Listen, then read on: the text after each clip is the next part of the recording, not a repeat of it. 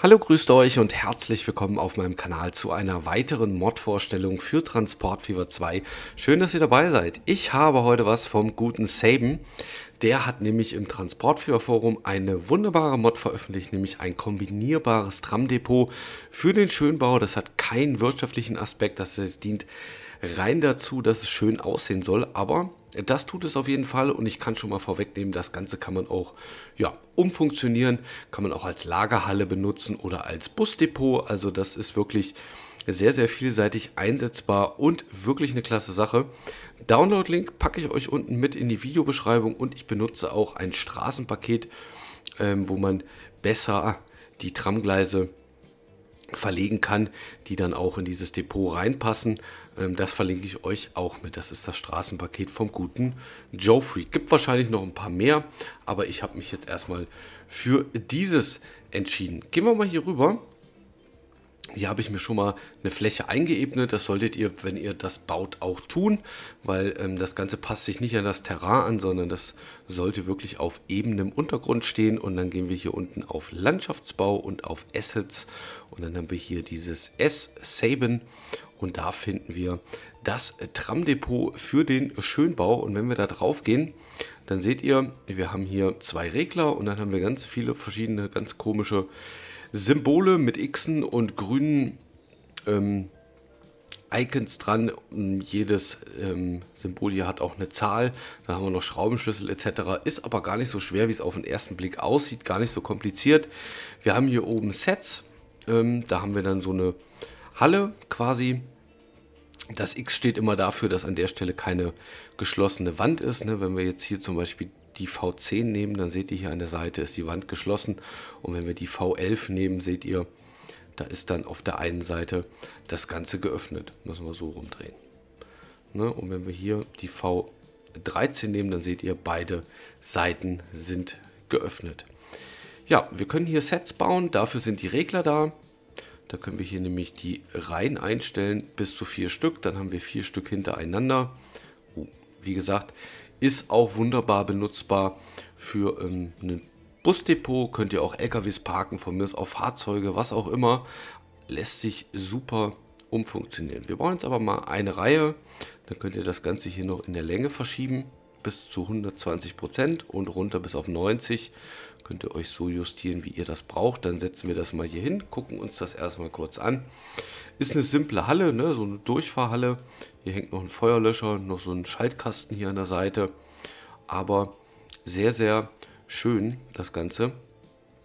Hier oben ist dann auch noch, so wie ich das sehe, die Halterung für die Oberleitung gleich mit angebaut. Passt, wir haben auch gleich eine Straßenbahn neu verfügbar. Und ja, simpel, aber dennoch sehr, sehr gut zu gebrauchen. Und dann haben wir hier ganz viele andere Sachen. Wir haben auch noch das Set, wo auf der rechten Seite dann quasi, das können wir uns auch noch mal angucken, wo auf der rechten Seite quasi die Werkstatt dabei ist. Gehen wir mal hier kurz ins Kameratool, dann sehen wir das auch besser. Ne, hier ist die Werkstatt dabei. Da kann man hier auch hochgehen, dass man auch an den Oberbau der Tram dann auch drankommt. Hier haben wir noch so ein ja, Büro oder Wartungsraum. Ne? Sehr, sehr cool. Das Ganze, das nehmen wir aber nochmal weg. Denn man kann das Ganze nämlich auch, deswegen heißt es kombinierbar, natürlich super kombinieren. Muss da so ein bisschen frickeln, dass das auch gleichmäßig ist. So, einmal hier dran. Und dann ist das Ganze kombiniert. Haben wir quasi von der Breite her jetzt sechs Lagerhallen Lagerhallen, Depothallen anstatt drei. Dann haben wir aber auch die Möglichkeit, hier aus diesen einzelnen Elementen uns selber eine Lagerhalle zusammenzubauen. Ne? Jetzt nehmen wir zum Beispiel hier, ähm, genau, links zu, rechts offen, stellt ihr euch hier hin, dann nehmt ihr hier diese, wo beide Seiten geöffnet sind, stellt euch das hier hin, dann stellt ihr euch das hier hin. Und dann könnt ihr auch sagen, das hier möchte ich, das machen wir so, das hier möchte ich ein bisschen länger haben als die andere Seite. Dann sagt ihr einfach hier, zack. Na, Im normalen Schönbau würde man das natürlich noch feiner justieren. Das ist jetzt nur zur Veranschaulichung. Soll jetzt nicht super schön aussehen, sondern euch nur veranschaulichen, wie das Ganze funktionieren kann. Und dann bauen wir auf die Seite nochmal diese Halle. Und dann haben wir quasi eine Halle, die hier vorne ähm, quasi noch eine Verlängerung hat. Also da kann man wirklich gut mit rumspielen. Sehr, sehr cool das Ganze, sehr, sehr schön. Dann haben wir hier aber noch ein paar andere Sachen mit geschlossenen Toren. Ja, das seht ihr hier vorne. Wenn hier so eine gestrichelte Linie ist, ist das Tor geöffnet. Ist die Linie durchgezogen, ist das Tor quasi geschlossen. Das kann man daran gut erkennen. Und dann haben wir hier auch noch die. Da ist hinten dann, ups, da ist hinten dann eine Wand. Das ist dann dieser graue Rahmen hier drum. Daran erkennt man, ob das Ganze komplett geschlossen ist oder nicht. Hier haben wir es zum Beispiel nicht. Ne? Hier haben wir nur an den Seiten diesen Rahmen. Und die X auf den grauen Rahmen, das bedeutet dann, die Mauer ist geöffnet und vorne und hinten ist keine dran. Aber wir haben auch noch hier das. Das ist quasi das Modul, was hier drin steht, nur ja, gespiegelt. Da müssten wir dann das nehmen mit geschlossenem Tor. Das könnten wir dann hier reinbauen. Ne, das kann man auch prima hier einfach noch reinbauen. Zack. Super, wie sich das Ganze hier reinbauen lässt. Also wirklich, wirklich toll. Dann haben wir hier noch Seitenanbauten quasi. Einmal kleiner, einmal größer. Das hier kann man super einfach hier reinbauen an die Seite.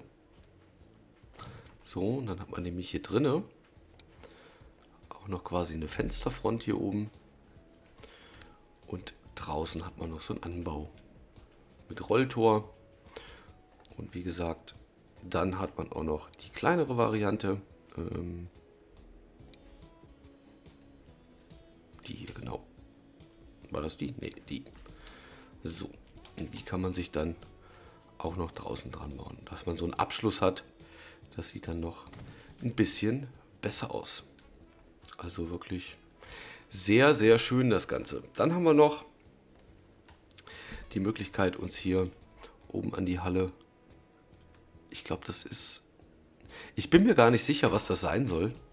Ist das der Abschluss für die Oberleitung, den man hier dann dran macht? Hier oben? Kann das sein? Ach, hier steht No Name. Oder ist das hier Halle 1? Aber wie kann ich denn dann Halle 2 beschriften? Geht das so? Nee. Das ist natürlich jetzt eine gute Frage, ne? Wie man das machen kann. Oder geht das auch wie bei der anderen Mod so? Ja, das ist super. Ähm, Steuerung Alt gedrückt halten, dann kriegt ihr dieses Zeichen hin. Und dann könnt ihr euch hier noch das Ganze beschriften. Sehr, sehr cool. Das ist wirklich prima. Dann ist es aber nicht der Abschluss für die Oberleitung, sondern die Beschriftung für die Hallen. Ähm, dann würde ich das doch eher hier oben dran bauen. Hier. So. Genau. Und dann 1, 2, 3, 4. Und dann habt ihr das durchnummeriert. Sehr, sehr schön. Und zu guter Letzt haben wir dann noch das hier. Das hier wollte ich. Das ist quasi noch ähm, für die Schienen, die ihr hier reinlegt. Das könnt ihr euch hier reinlegen. Ich würde das ja, so bauen. Das legt ihr euch hier rein. Und dann kommen wir zu den Straßen, die ich erwähnt habe. Ähm, die normalen Straßen, die sind halt einfach nicht geeignet. Ne? Ihr seht, man könnte das hier reinbauen, aber die Straße ist viel zu breit. Ich lege die mal kurz hier rein. Ihr könntet jetzt hier neben keine zweite bauen. Na, das ist das Problem. Deswegen geht das wahrscheinlich nicht ohne Straßenpaket. Und wenn ihr hier dieses Straßenpaket nehmt, dann habt ihr hier entweder einen Teerweg, nehmen wir mal die Oberleitung weg, einen Pflasterweg oder halt einen Feldweg. Ähm, und wenn wir da dann eine Tramschiene drauflegen, dann passt die hier wunderbar, müsst ihr so ein bisschen ausprobieren, wunderbar hier rein. Zieht ihr euch hier durch und dann justiert ihr das nochmal richtig So, zack. Dann nehmen wir hier die zweite. Ist halt ein bisschen Friemelei, aber der Trambau in Transportfieber ist ja eh nicht so der allerbeste. Ne? Das ist wirklich einfach viel zu kompliziert und ähm, ja, auch nicht wirklich schön möglich. Und so könnt ihr euch hier eure Schienen reinlegen. Und dann könnt ihr sagen, hier, zack, die geht nach da. Und die fädeln wir uns hier ein. Die fädeln wir uns hier auch noch ein. Problem ist halt, dass hier so eine, ja, so eine komische Kreuzung gebaut wird. Ne? Das geht leider nicht anders. Dieser Bogen hier, damit die Tram, die von hier kommt, auch hier rüber abbiegen kann. Ähm, das wäre übrigens was für den Nachfolger, wo ich definitiv sagen, sage, ähm, dass sie das verbessern werden. Also Urban Games ist ja schon ein Entwicklerstudio, was viel auf Kritik eingeht. Und ich bin 1000% davon überzeugt, dass die im Hintergrund schon an einem Nachfolger arbeiten, der nichts Neues, Innovatives wahrscheinlich bringt, aber alles viel, viel besser macht und auch eine Engine hat, die ähm, nicht so performancefressend ist. Da bin ich sehr fest von überzeugt. Und ähm, so Sachen oder auch der Bau im Untergrund, das wird dann wahrscheinlich viel, viel besser sein. Ja, so könnt ihr das Ganze bauen. Wirklich sehr, sehr schön. Ähm, jeder hat da natürlich seinen eigenen Stil und präferiert da seine eigenen Konstruktionen. Das ist nur, um euch zu zeigen, wie das Ganze in etwa funktioniert. Ich denke, das habe ich hinbekommen. Hier haben wir noch die Lagerhallen. Ne, ihr baut also erstmal ein Set und dann könnt ihr auch sagen, ähm, ich möchte aber die Tore zu haben. Dann fügt ihr das hier hinzu, Add und dann habt ihr hier vorne die Tore auch geschlossen. Also ihr könnt da ganz viel rumpro rumprobieren. Alles ist kombinierbar, alles ist modular, erweiterbar. Eine tolle Sache, haben wir so in der Art noch gar nicht und wirklich eine Bereicherung fürs Spiel. Danke an den guten Saben für diese tolle Mod. Danke für eure Aufmerksamkeit und fürs Reinschalten. Ich würde mich sehr über ein Däumchen nach oben freuen. Und wenn ihr neu auf meinem Kanal seid oder noch nicht abonniert habt, würde ich mich sehr über ein Abo freuen. Knapp 57% meiner Zuschauer haben noch nicht abonniert. Ja, würde ich mich sehr darüber freuen, wenn ihr das nachholen würdet. In dem Sinne, viel Spaß damit und bis zum nächsten Mal. Ciao, ciao.